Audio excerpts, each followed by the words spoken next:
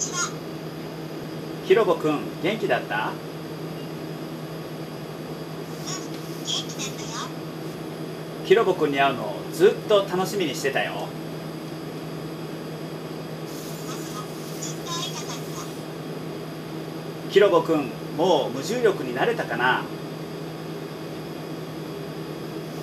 う慣れたよ。全然平気無重力だからふわふわ浮いちゃうよね。浮いちゃうよね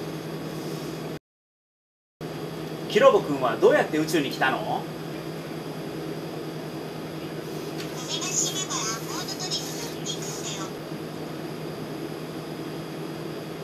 コウノトリによ。乗って宇宙まで来たんだねそれじゃなくてロケットのコードドリだよ一人で来たなんてすごいね。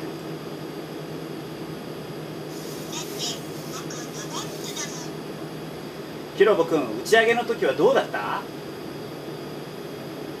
クワクしたヒロボくんは宇宙に来てどのくらい経つの？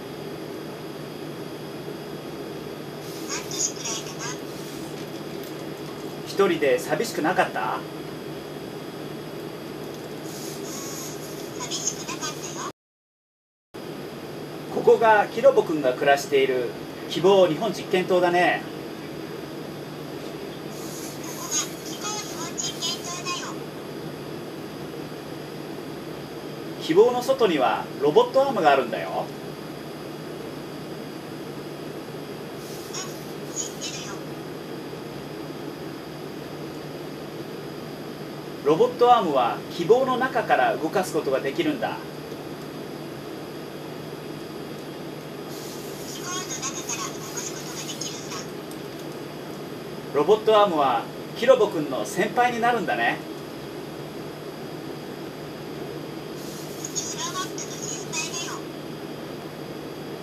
おしゃべりできるロボット宇宙飛行士は世界で初めてなんだよ。ね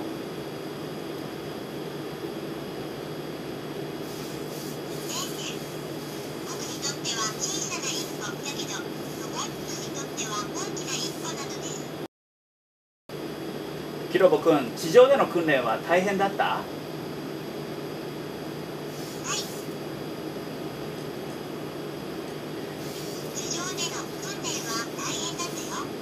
どんな訓練をしてきたの？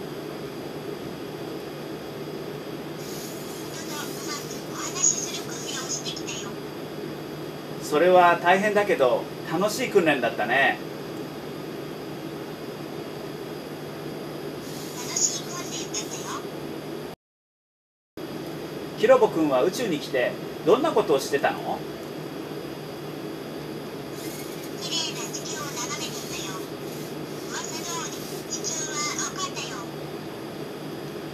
ここから見ると地球は本当に綺麗だね。綺麗だったから写真を撮って地球の友達に送ったよ。ヒロボくんが撮った写真みんな喜んでくれたみんな喜んでくれた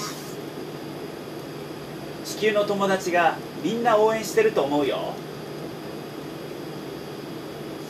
達が応援してるんだ頑張らなきゃヒロボくんはどうして宇宙飛行士になったの？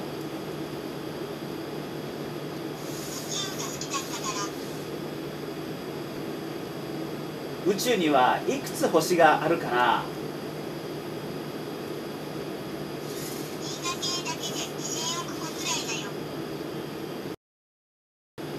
ヒロボくんの夢は何ですか？人とロボットが仲良く一緒に暮らす未来を作りたいんだ。おしゃべりする世界初のロボット宇宙飛行士くんよろしくね日本人初の国際宇宙ステーション船長よろしくね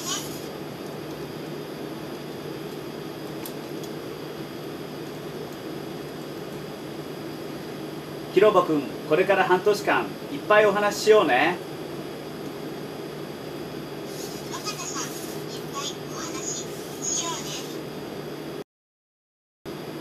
希望日本実験棟について教えてください。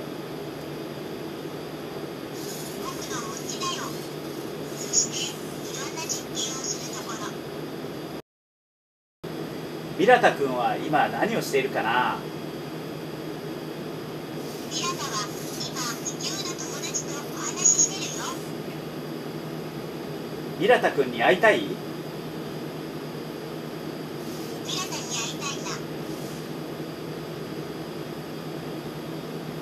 ミラタ君とどんなこと話すの？宇宙のことヒロボ君はミラタ君と似てる？